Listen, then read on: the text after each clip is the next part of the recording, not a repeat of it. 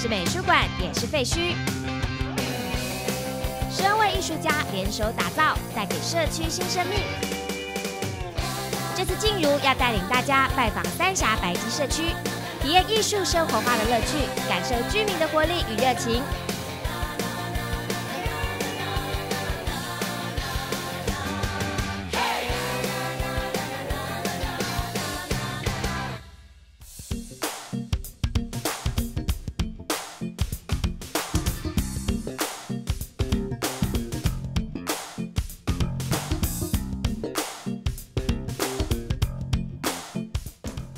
天来到了三峡的白鸡社区，是要寻找传说中的废墟美术馆。踏着轻快的步伐，穿过这座居住了八百多人的白鸡山庄，就让眼前的绿占据我的视线。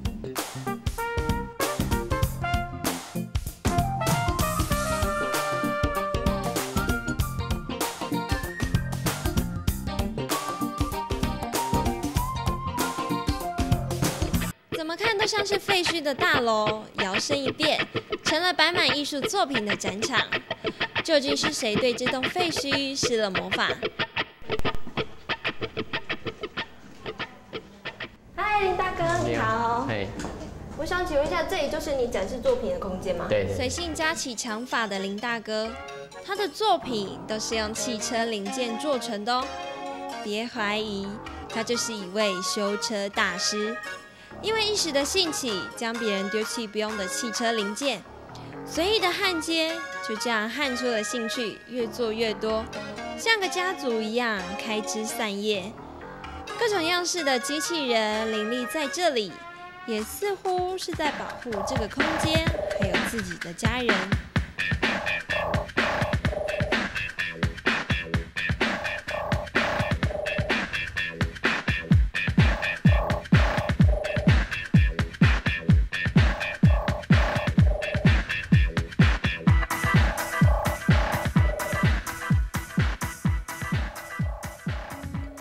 老师是一个非常喜欢编织的人，对不会编织的人来说，很难想象毛线可以做成这么多样式又实用的东西。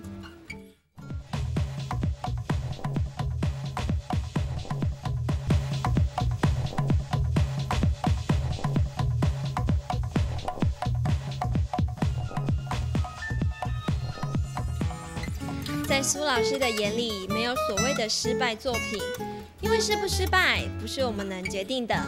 每件作品都有属于自己的生命力。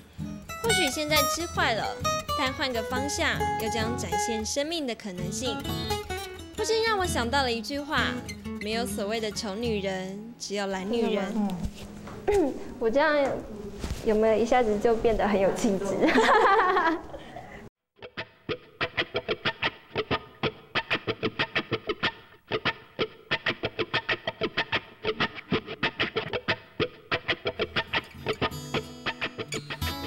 大哥，为什么拍摄的对象都是小孩？他说，因为他不想忘记，在这个世界上还有希望。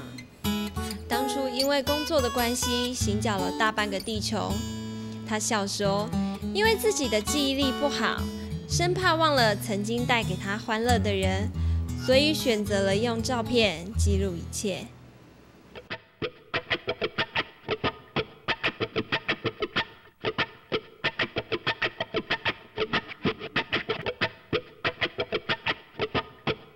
着一身黑的淑君老师，和他的画作有着强烈的对比。喜欢运用鲜艳的色彩，刻画在他身边所有的人事物。他说，每天发生的事，每天经过他身边的人，每一个人说过的话，都会是他画里的主角。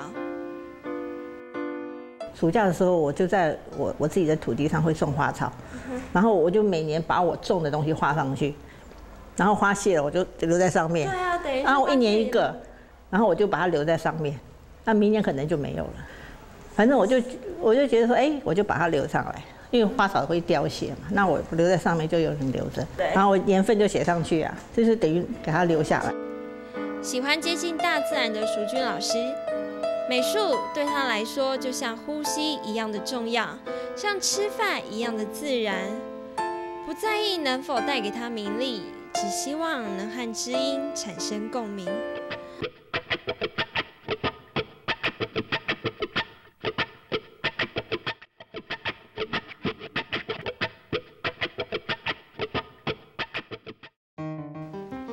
豪爽的倪大哥，虽然话不多，但是在言谈中可以感受到他对绘画的热情。对倪大哥而言，创作的路是孤独的，他所祈求的只是做一个独立自主的人，说心底的话，做想做的事，尽可能以美好感人的方式，把不愉快或是令人烦恼的事宣泄在自己的画作上。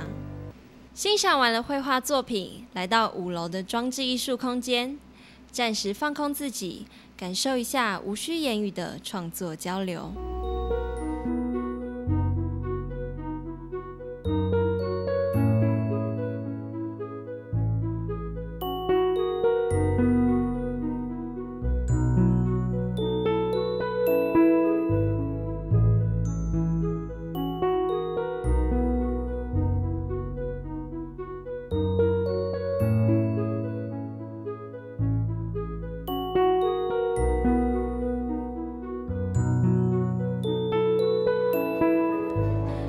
老师的热情也感染了周遭所有的人。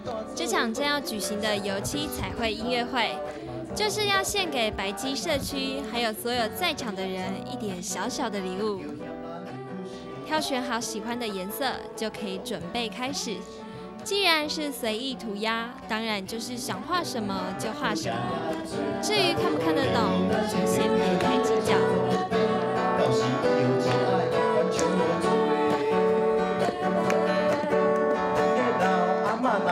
that way.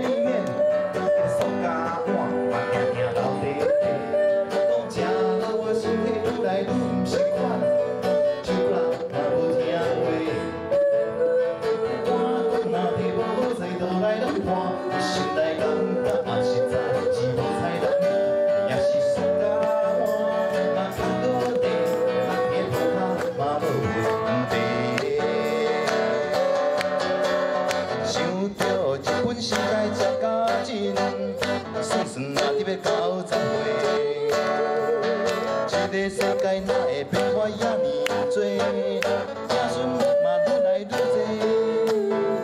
哪有下辈子要伴的？子孙自细汉爱弹吉他，听听弹到不知是怎样。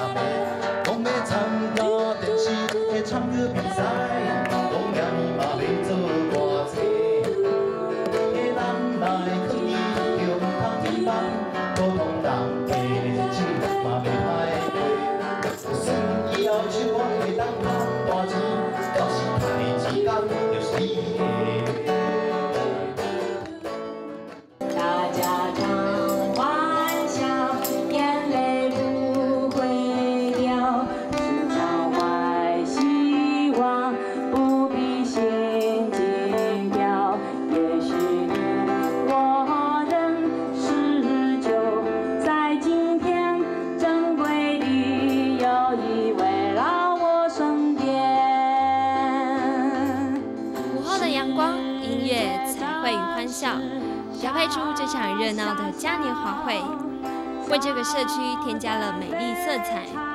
一场超越真实的绘画创作就在我的眼前上演，人人都是主角，而艺术的种子也开始在每个人的心中慢慢萌芽